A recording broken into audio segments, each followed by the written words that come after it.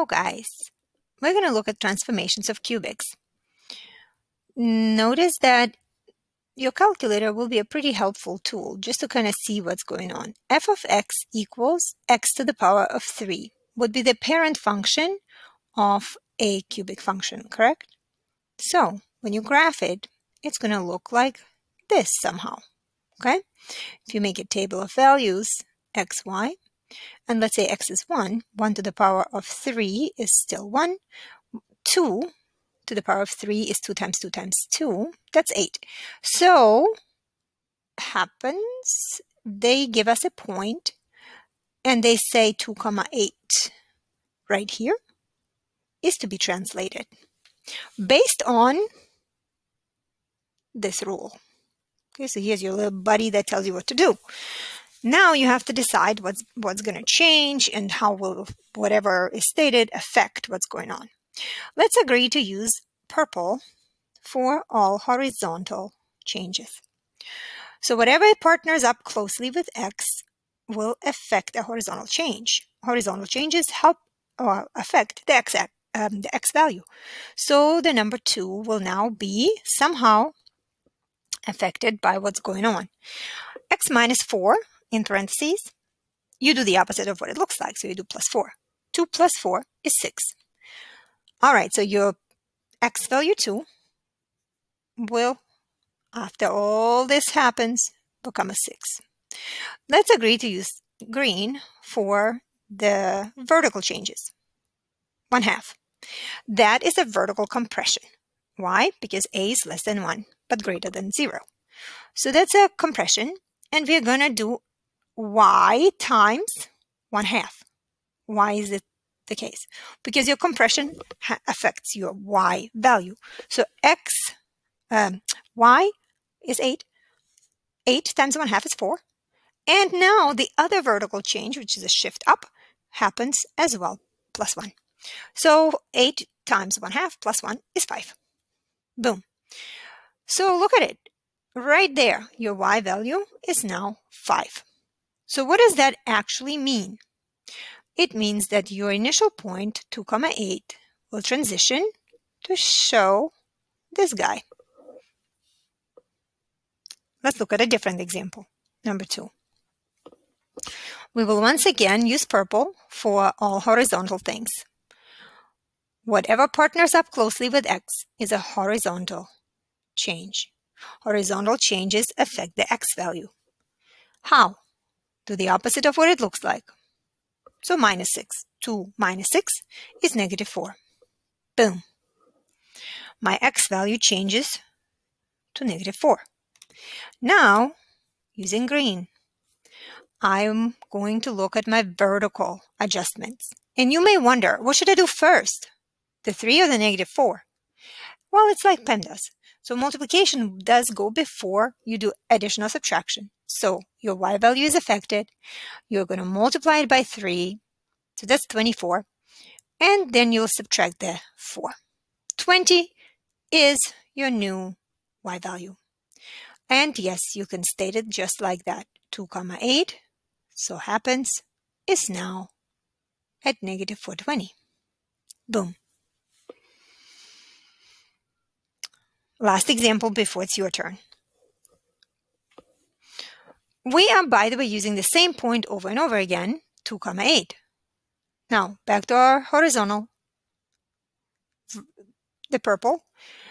Whatever is really close with x is what's going to be affected by the x change. Now plus 1. We do the opposite of what's happening. And 2 plus 1 is 3. I have my new x value. All right. Now let's look at, using green, our vertical situation.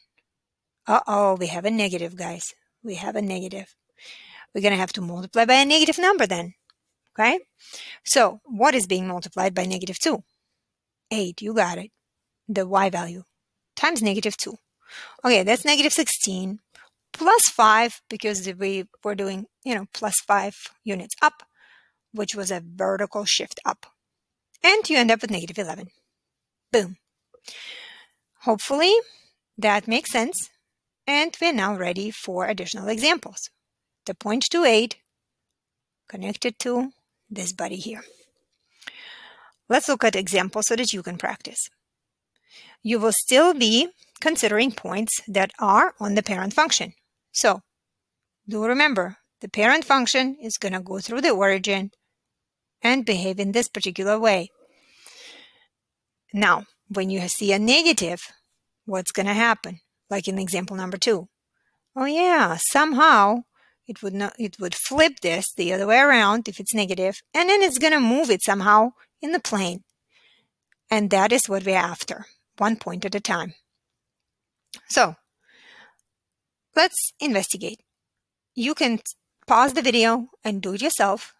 Apply the very same strategies to know what to do. Gonna mark all of my horizontal changes in one color and my vertical changes in another. That way I can easily distinguish and make my choice on what to do next. Okay, so green is my vertical change. Okay, I will also decide which way my graphs are going to go, just so that I don't forget about my negative if I have one. This one's going to go like this. This one, uh-oh, I have a negative, so it's going to go like this somehow, okay? This one is going to go like this somehow because my A is positive. That's just my expectation. Now I'm going to put the points, write them down from here. Going to copy it because I need the X value and I need my Y value. You can set it up differently if it makes more sense to you.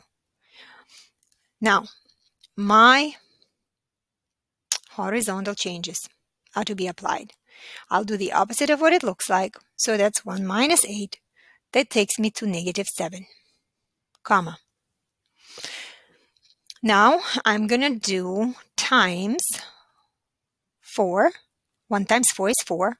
Minus 2 is 2. So if I put my two equations into the calculator, which obviously is your parent function, x cubed, and your actual example that is given like this, you put it in the calculator, you must be able to find your suggested point in your table. So this one better be there. Okay. Now the next one. I'm going to copy my x value and y value again. Okay, you got it. X value, Y value. The given point is different, so I'm going to be careful to make sure I'm actually using what they tell me. Now, my horizontal changes, the opposite of what it looks like. That takes me to 6, just like it did here. Okay, that's what caused it. Now, comma. Now I'm going to do my vertical changes. What's happening? Oh, oh, I'm multiplying by a negative number. And the number is less than 1 but greater than 0. That's a compression this time. The first example was a stretch, vertical stretch, versus now a vertical compression. 27 times negative 1 third, that's negative 9. Plus 2 is negative 7. All right, guys, that's the new point. Uh, oops, and it better be in the table when you look for it. Now, the last one. Um, I can tell that it's going to be a vertical what? Stretch or compression? What do you think? Stretch or compression? Compression, you're right. X, Y. I'm supposed to use 2, 8. I'm going to do what it says for my X, but it's opposite and it looks like I get negative 10. And what do I do for my y change? My vertical stuff affects the y, so I'm going to do times 1 fourth because that's the factor of my compression. Uh, 8 times 1 fourth is 2 minus 5. So unless we messed up, that should be that. Again, use the calculator to at least see if you end up with the same values in the table. It's quite interesting to see. Good job, guys. Reach out if you have any questions.